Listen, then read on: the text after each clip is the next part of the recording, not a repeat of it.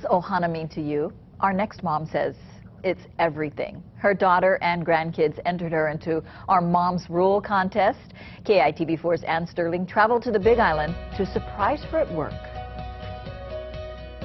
Hello! I nominated you for a contest at KITV4 News. Oh my God! for Best Mom of the Year. Oh, thank you.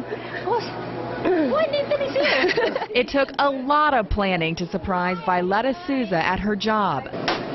She's been working for the Mauna Kea Resort on the Big Island for 24 years. Oh, not for me. So even her bosses wanted to help us surprise her. She don't tell me nothing about this. I was so surprised.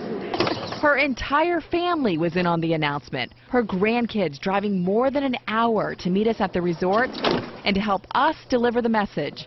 Violetta was nominated for our Moms Rule contest.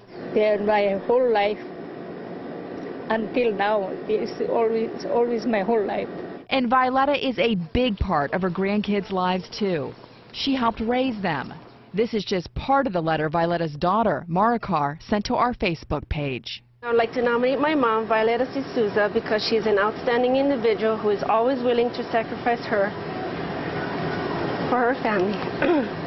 when my brother and I was called to go to Iraq during OIF 3 in 2004, she took my role as a single parent and took care of my three children. During that time, she went through two breast cancer surgeries, taking care of my dad who suffered two strokes. I am grateful for all she has done and is still doing for my children and I.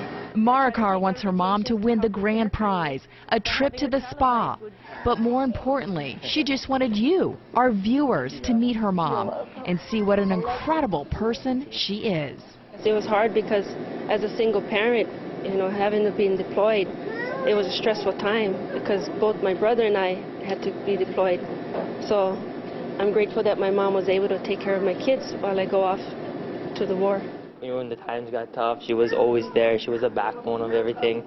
I've, I don't remember a time when I went up to her and she wasn't able to, you know, make me feel better.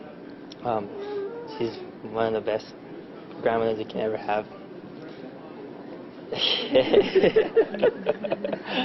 All this time that she don't appreciate what I do for her. But now,